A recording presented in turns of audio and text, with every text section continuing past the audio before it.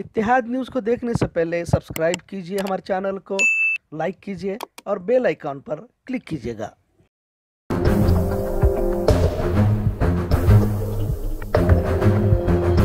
अस्सलाम वालेकुम रहमतुल्लाहि वबरकातुहू। इत्तेहाद न्यूज़ में आप सभी का खैर मकदम है। कल हमने क्या मज़हब की बिना पर मुजरिमों के जुर्मों का आकलन करेंगे पर बताते हुए मौलाना कलीम सिद्दीकी की गिरफ्तारी पर उठते सवालों पर भी अवाम के तासुरात, यानी कि कुछ कहना चाहते थे। और साथ में गुजरात के अडानी पोर्ट पर इक्कीस हज़ार करोड़ के ड्रग्स पकड़े गए। इस पर भी बात ज़रूरी हो जाती है।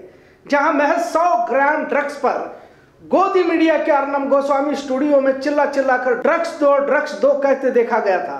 पूरे मुल्क में महज सौ ग्राम ड्रग्स पर हंगामा मचा हुआ था। सुशांत सिंह की सहेली रिया चक्रवर्ती के पास सौ ग्राम ड्रग्स को मिलने को लेकर हंगामा खड़ा किया गया था खैर, इस मामले को लेकर शिवसेना कांग्रेस हुकूमत को गिराने की भी पूरी कोशिश भाजपा की जानब से करने की बात भी बारहा कही जाती है। अब सवाल ये उठता है कि आखिर इक्कीस हज़ार करोड़ के ड्रग्स पर सबके मुँह में दही क्यों जमी हुए सबके मुँह पर ताले क्यों लगे हुए? कहाँ है वो गोदी मीडिया जो चीख चीख कर सौ ग्राम ड्रग्स पर आवाज़ उठा रही थी? क्या मतलब किस तरह दोगली पॉलिसी इस मुल्क में चली जाती है? इसका एक बार फिर एहसास तो होता है, लेकिन उसी रविश पर चलते हुए सभी को देखा भी जा रहा है। अब ये जमीर फरोश मीडिया किस तरह खामोश है, ये भी एक मामला देखने के बराबर है।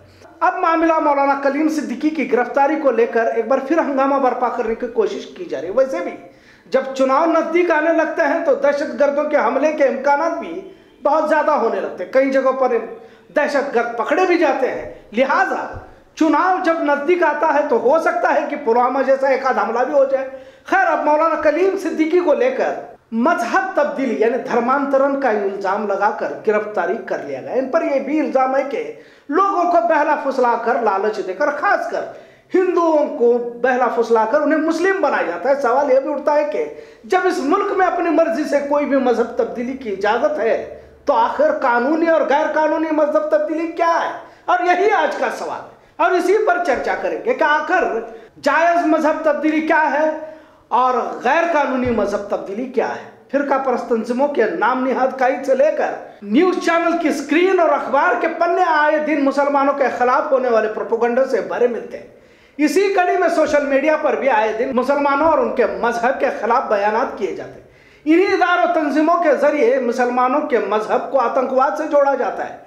इन्हें दहशतगर्द खुलेआम कहा जाता है। लेकिन ऐसी बयानबाजी प्रोपोगंडे करने वालों पर कोई कार्रवाई नहीं होती।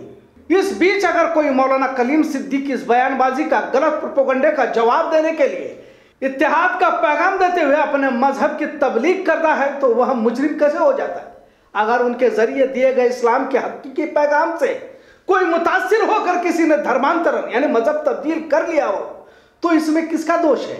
मौलाना का, इस्लाम का, या फिर मज़हब तब्दील करने वाले शख्स का?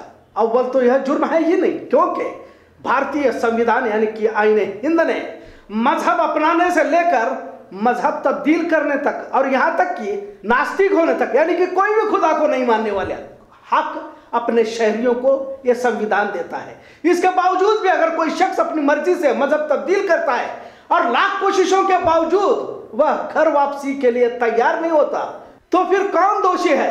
फिर किस पर इल्ज़ाम लगाया जाए? अपने मज़हब की तबलीग करने वाले मजहबी रहनुमा या उस पैगाम से मुतासर होकर उस मज़हब को अपनाने वाला शख्स, आखिर जायज़ मज़हब तब्दीली क्या है? एक आम इल्म रखने वाला शख्स भी बता देगा कि डरा कर धमका कर लालच देकर, धर्मांतरण कराना न सिर्फ़ अधर्म है, बल्कि कानून की नज़र में भी जुर्म है।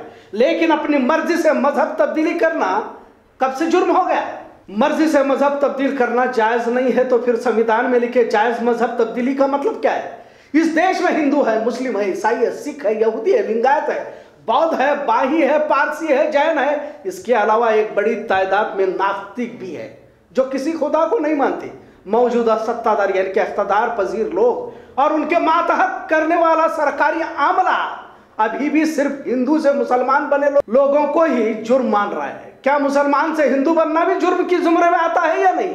क्या उसे जुर्म के जुमरे में रखा जाएगा? ये भी सवाल है। उत्तर प्रदेश के शामली के कांदला मोहल्ले में रह रहे बंजारा जाति के लोगों ने तकरीबन 12 साल पहले अलग रीत रिवाज को लेकर हुए बहस से आज यानी कि तंग आकर मज़हब तब्दील कर लिया था। पिछले महीने भाजपा और हिंदुत्ववादी तंजीमों के लोगों ने बंजारा समाज के तीन परिवारों के 19 लोगों का शुद्धिकरण कराकर हिंदू धर्म में वापसी कराई। अब इसे क्या कहा जाएगा? यूपी एटीएस इसे नाजायज मज़हब तब्दीली के जमरे में रखेगी या इसे जायज़ तब्दीली माना जाएगा? ऐसा लगता है कि मौजूदा हालात को देखते हुए इसे जायज़ ही धर्मांतरण माना जाएगा क्योंकि बंजारा जाति के लोगों ने मज़हब को छोड़कर धर्म अपनाया है। इसलिए किसी महंत के खिलाफ कोई एक्शन नहीं लिया जाएगा।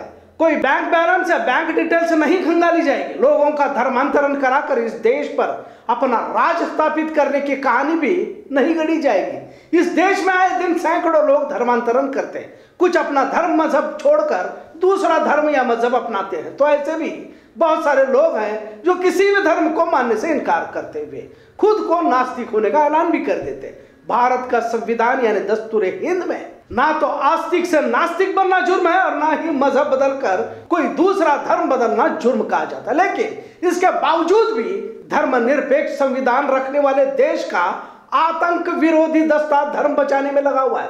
मनमानी तरीके से धर्मांतरण की जायज़ और नाजायज कहानियाँ बनाने में जुटा है। नाजायज कहानियाँ घड़ी जाती है। यह आतंक मुखालिफ दस्ता खुले जलासों से घर वापसी का ऐलान करने वाले हिंदुत्ववादी तंजीमों को तहफुज फराम करता है। लेकिन एक मखसूस मज़हब के बारे में फैलाई जा रही गलत फहमियों को दूर करने की कोशिश करने वालों पर नकील कसी जाती है। ऐसे वारदातों को देखते हुए यह कहने में कोई जाति नहीं होनी चाहिए कि भारतीय सियासी पार्टियाँ न तो सेक्युलरिज्म में आस्था रखती है यानी कि भरोसा रखती है, न लोकतंत्र में यह पूरा तंत्र ही बहुसंख्यांकवाद, यानी अक्सरियत से मुतासिर है। यह एक अफसोसनाक पहलू ही कह सकते हैं। इतिहाद देखने के लिए शुक्रिया। अल्लाह हाफिज।